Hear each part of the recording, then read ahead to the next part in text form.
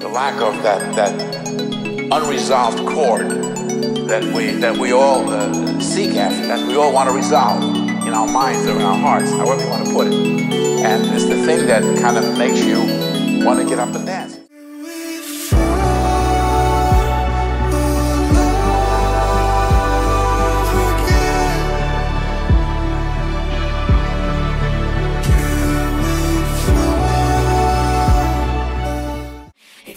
break on the dance floor.